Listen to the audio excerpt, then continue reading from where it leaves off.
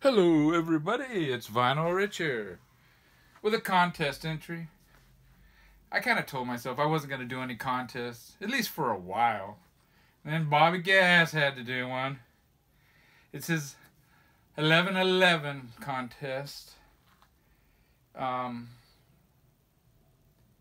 before I start, though, Bobby, please stop smoking. I mean, come on.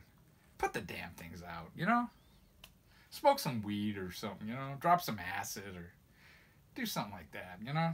You don't need cigarettes. Have a beer. Um. Anyways, I had to enter his contest. I wouldn't have felt right if I wouldn't have. He's one of my favorite channels. I try to watch all of his videos. I don't watch all of his ones in the morning where he's playing music. I do watch some of them. Usually when those are popping up is the time I'm going to bed. But anyways, whatever. He wants you to name one of his favorite, one of your favorite videos of his. And I really like the ones he he uh, where he tells some history. I remember he did one where he kind of told the history of the Gass family. And I remember in particular him talking about one of his aunts, I believe, in World War II.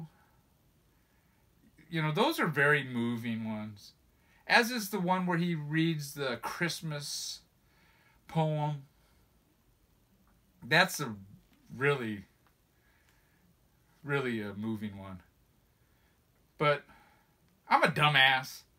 If I had to pick my favorite, it'd probably have to be the one where he's trying to give away the Saturday Night Fever soundtrack. I thought that was hilarious.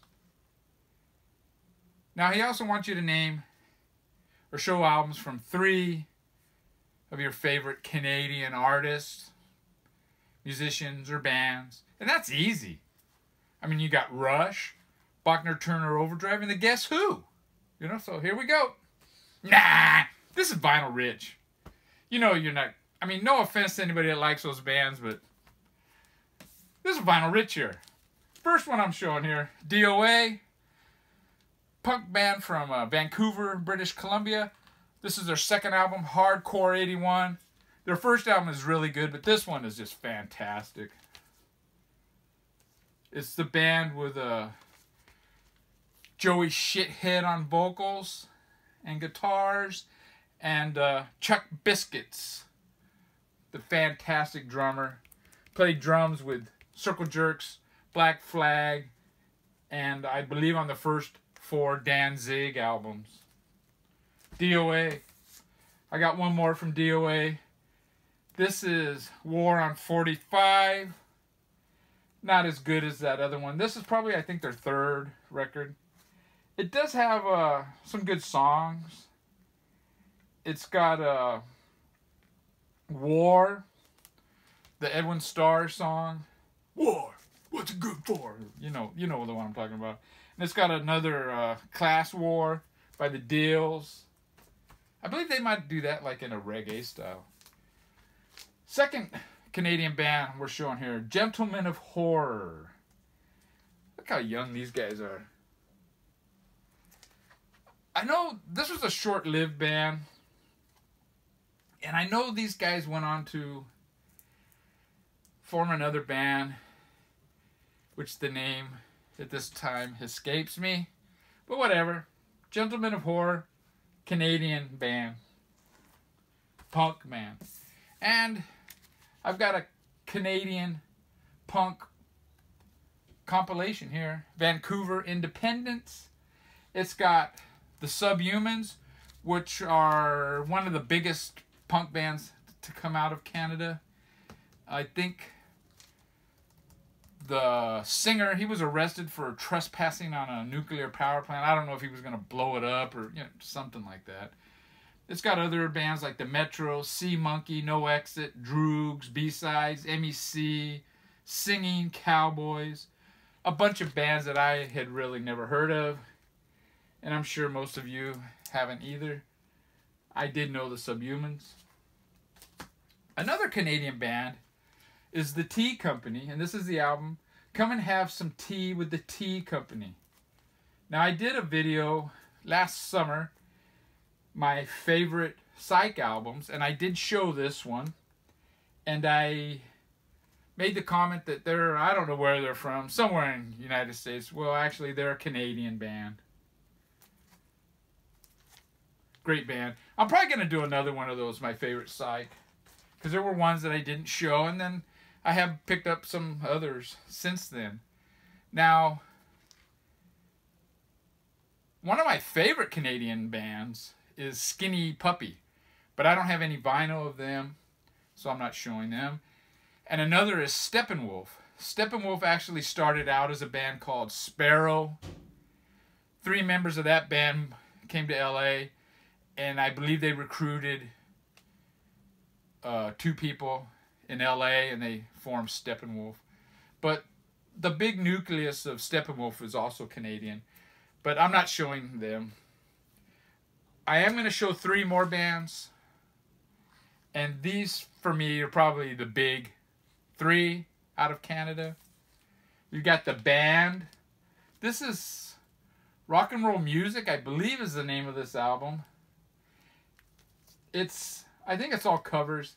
It's not a great album.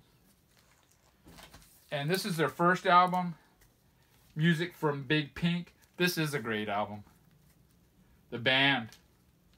One of the big three out of Canada. The other one for me, it's got to be Joni Mitchell. This is Blue. Absolutely fantastic album. As is this one. Later in the 70s. Haraya. Harija. I, I don't know. Great album. The bass playing by Jaco Pastorius, the guy that was in Weather Report, is just fantastic. He was not my favorite bass player in Weather Report, though. Let me tell you, I like uh, Alphonso Johnson. I I've seen I saw Weather Report a few times in concert, and uh, Alphonso Johnson in concert was, uh, for me, was more entertaining, or I enjoyed more. Jaco, I mean, when you got a bass player in a jazz band playing on stage with no shirt on, I mean, really? rock star. And the big one out of Canada is Neil Young. Everybody knows this is Nowhere. His second album, fantastic album. And another Neil Young is After the Gold Rush. This is the first Neil Young album I ever bought. I actually bought this when it came out, 71 or something like that. 1970. Yeah, I remember I bought this one when it came out. And to top it off, we got a Neil Young bootleg here. Recorded at the Los Angeles Music Center, the Dorothy Chandler Pavilion. February 1st, 1971. On the trademark of quality. I've seen several different versions of this album. Those are my Canadian bands. Now he wants you to quote Shakespeare. Wait one second. I'm not. I mean, I have seen some Shakespeare plays in my time, but I'm not really. I can't read it. But here we go. Romeo, Romeo, where art thou, Romeo? Take care, guys and gals.